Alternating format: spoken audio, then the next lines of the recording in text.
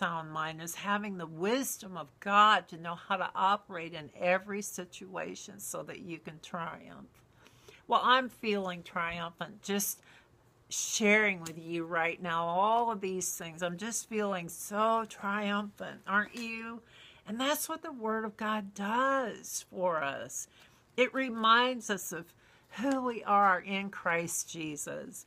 So, quickly, before we close out this segment, because we're going to have to do that here in a few minutes, let's go to Isaiah 54 and look at verse 7. Oh, God is so good to us. If we can just receive it, if we can just get rid of our inhibitions and receive it.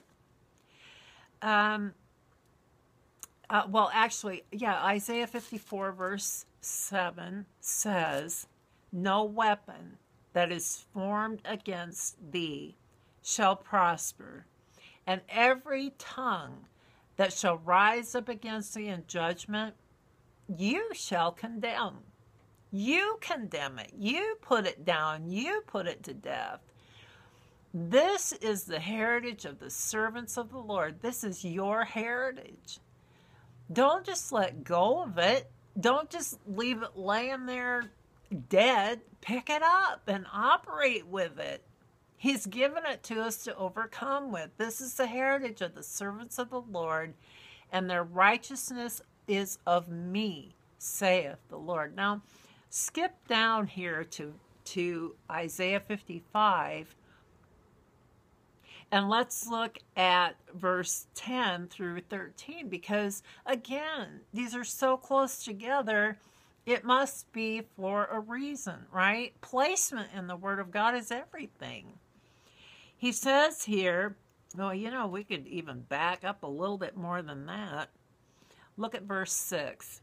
Seek ye the Lord while he can be found, call ye upon him while he's near. Let the wicked forsake his ways. We're gonna we're gonna change, okay? We're gonna change our ways to, to God's ways. And the unrighteous man his thoughts, his thoughts, and let him return to the Lord. And he will have mercy upon him and to our God, and for he will abundantly pardon. There's that pardoning. We've got to have it. We've got to have our clear pathway between God and ourselves at all times. For my thoughts, he says, are not your thoughts, neither are your ways my ways, says the Lord. As the heavens are higher than the earth, that God's thoughts towards us are so high. Higher than what we would think for ourselves ever, right? For the heavens are higher than the earth, so are my ways higher than your ways, and my thoughts than your thoughts. As the rain comes down and the snow from heaven and returns not thither, but it waters the earth, and it makes it bring forth and bud, that it can give seed to the sower and bread to the eater. Remember, we talked about seed, uh, seed time and harvest last time? So shall my word be that goes forth out of my mouth. It will not return void, but it shall accomplish that which I please and prosper in the thing whereto I sent it. If we do what we read here, if we change our thoughts, if we accept God thoughts, and put away those wicked, twisted thoughts that we used to have and, and go God's way. Then his word will prosper in what it was sent to prosper in. And now listen how you're going to listen to the effect. Listen to what it's going to accomplish in you and I, you and me. Verse 12 For you shall go out with joy you're going to be filled with joy when you get into this position where you are living freely in all that God has called and ordained you to live in, in that divine order of things, of His. You're going to go out with joy. You're going to be led forth with peace. Mountains and hills are going to break forth before you into singing. And all the trees of the fields are going to clap their hands. And don't think for a second that in the spiritual realm, that's not a reality because it is. I've seen it. The Lord blessed me to be able to see that It's a truth. He's not he's not just throwing out words here. God doesn't just throw out idle words. As a matter of fact, he says we're going to be accountable for every idle word we speak. Instead of the thorn, verse 13, Isaiah 55, instead of the thorn is going to come up the fir tree. And instead of the briar is going to come up the myrtle tree. And it will be to the Lord for a name and for an everlasting sign that shall not be cut off. Now, when you hear that, the thorn, uh, instead of the thorn is going to come up a fir tree. Instead of the briar. Do you know where those words originate? Do you? Do you know where they originate? You remember when Adam and Eve fell, right? Yeah, I know you do. I know you do. And verse 4 God said unto the serpent, well, let, us not read that part. We're going to get, uh, I need to find the exact verse. Okay, and Adam, to Adam, he said, Because you hearkened unto the voice of your wife instead of God, and you have eaten of the tree of which I commanded you, saying, Thou shalt not eat of it. Cursed is the ground for thy sake, and in sorrow shall you eat of it all your life. Thorns and thistles shall it bring forth to thee, and thou shalt eat the herb of the field. Thorns and thistles it's going to bear in your life. And here we read in Isaiah 55 no longer, no more, no more the curse, no more the thorns and the thistles. Mm-mm.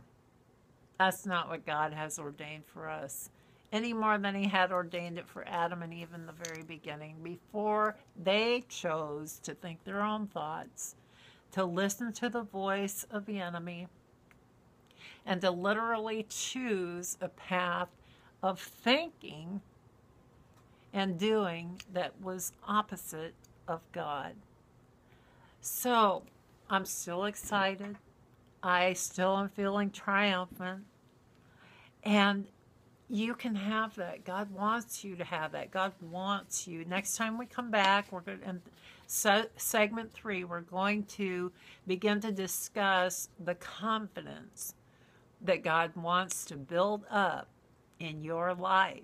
He calls us to walk confidently in Him, to walk confidently in ourselves in that he creates of us this new being that has no fear and that can go forth and and accomplish mighty exploits in his name because we do not operate in fear. We're operating after the power, the anointing, the supernatural ability of God in us. I want to pray for you just real quick before we leave off in this segment. God, I thank you for your word that is so rich. I thank you, Father God, that it has the power to destroy the, the, the yokes of the enemy off of people's lives. I thank you, Father God, that you have an abundant entrance. We'll read that maybe next time into your kingdom. You have it set, ordained. It's already there.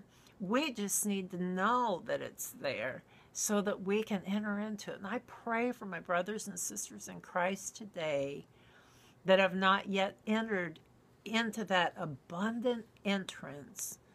Father, that by your Spirit you would reveal that into their spirits today, Lord God, that you would quicken them in that very place. And Father God, that a new entrance would be realized in their lives with you that they can benefit from all of these things that we've been sharing by your Spirit today, after the leading of your Spirit. Lord, I pray for any who have never asked Jesus into their lives to be their righteousness before you, to set them free, to cause them to become a son and daughter of the Most High God. Lord, I pray for those who would reach out in faith and invite you in today Father, he, I know you hear their prayer and you will answer. And Lord God, you said that the angels rejoice over even one soul that enters into the kingdom of God. I pray for them today, Father, that your incorruptible seed would be sown into their lives, Lord God, and it would begin immediately, it will begin immediately to manifest itself in their lives. They'll know the change has been made. They won't understand it, maybe. They may have no word background, but call on God, call on the Holy Spirit who saved you. Jesus saved you. Call on the Trinity and, and invite God to come in and begin the new work in you to create you in Christ Jesus. I love you. And we'll be back for segment three. This is Ginger Rankin with Izzy Herriette and Company. Thank you for joining me. Bye bye now.